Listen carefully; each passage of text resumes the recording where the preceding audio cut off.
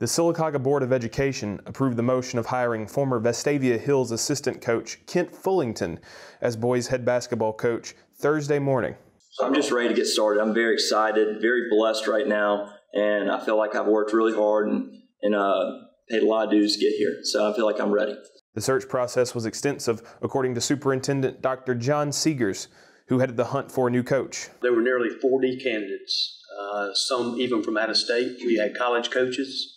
Uh, we have big time college coaches. The final round of the search saw the amount of candidates narrowed to four, but it was the one on one interview with Fullington that won over Dr. Segars. I'm happy to tell you that we found a great one. Uh, we welcome Kent Fullington here today from uh, coming out of Vestavia Hills. Uh, he is certainly uh, one of many great coaches in this state. He convinced me in the first hour. We just talked for the second hour, but he he, he, he was um, he was forthcoming. He he had a game plan on the court, off the court, and, and I realized that quickly. Fullington preaches three ideals to his team, and he hopes these values result in improvement both on and off the court. Well, we're going to be a, a very aggressive, very relentless team.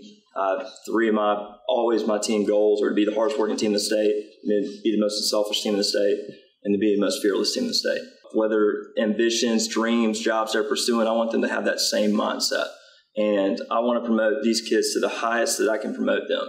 I want them to re- reach their full and max potential. And from that, we're, we're going to reach our team goal. The Aggies just won a state championship in 2018, their first in almost 30 years, and Fullington plans to ride that momentum going forward. This school's just shown excellence in every program, and I'm just ready to continue that and ready to get to get to work here, ready to get started. Reporting for WOIL TV 47.